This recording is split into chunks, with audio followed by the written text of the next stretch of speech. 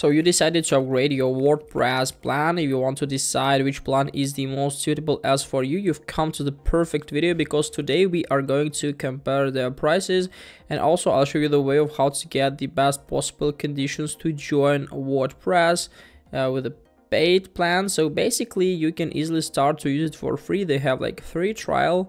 But if you decided to continue using them they have like premium personal business commerce cloud and enterprise plans. So if you want to use it just for your purposes personal and premium are good.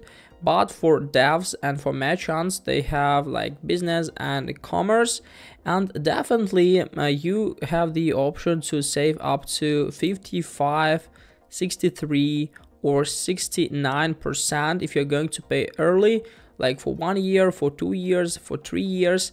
But if you're going to pay monthly you'll get these prices like nine dollars for personal 18 for premium 40 for business 70 for commerce 65 for cloud. But basically as you can see early subscription is like uh 55% cheaper. So definitely if you want to use it for a long time you can find the most suitable early plan as for you.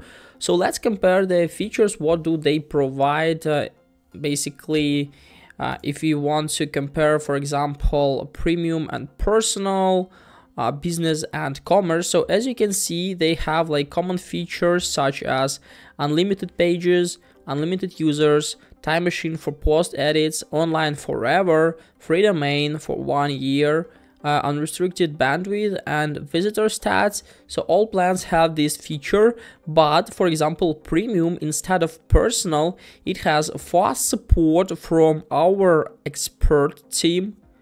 Uh, also they have like even more storage here 13 gigabytes instead of 6 uh, also, of course, they have like common features like contact form, smarter direct, and so on.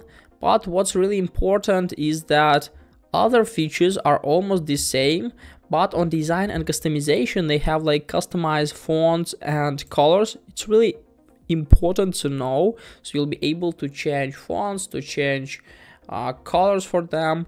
And basically that's all. Uh, other features, they have like the same maybe with growth and monetization tools like earn uh, with WordAds and in-depth site analytics dashboard uh, but I think that uh, if you want to use it in more professional way, of course, premium is the most suitable. Uh, but uh, as for devs, as for commerce, business and commerce plans are really, really good. So you can find that all the features are almost the same, but in commercial way, uh, we have like that for commerce all the commerce solutions are available but for business uh, they're available only with paid plugins so you need to pay a little bit more to get them and basically uh, commercial has zero transaction fees where like uh, dev version had like 2% and yeah so uh, the best plan is for your personal using is premium for commerce is definitely commerce and for businesses, business. Hope this video helped you out, leave a like, subscribe, and goodbye guys.